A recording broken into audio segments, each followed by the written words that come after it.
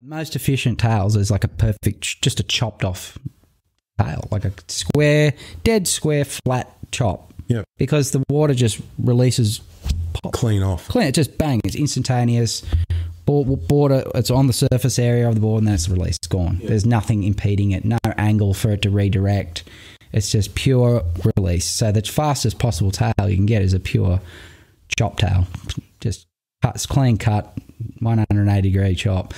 And then similarly, you just kind of follow that like a diamond tail is just a very. It's like the less you fuck with the water's flow, the lower drag it's going to be. Yeah. So the more curve you have is is the more the water has to follow that curve before it f- releases or it you know so like a curvy tail or a round tail is actually kind of like if you're going in a straight going straight planing a round tail the water follows both rail lines and then kind of comes to the tail end and it kind of hits the, the two flows kind of collide Yeah. and creates a bit of a, a suction point, a bit of a like turbulent area behind the tail.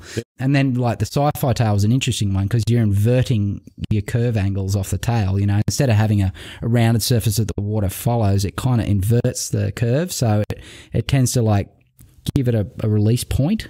Yep. So when you get create those little release points, the, the water flows kind of like let go a bit. It doesn't it doesn't grip like it, it doesn't hold on at the tail. It just kind of lets it lets it free. It's got little release points, you mm. know. So and when you see that in like little computer simulations, you can go, oh, I can I can see it. You know, you can see the little waters creating these little high pressure, low pressure flow areas, and you're like, oh yeah, that's cool. You know. Yeah.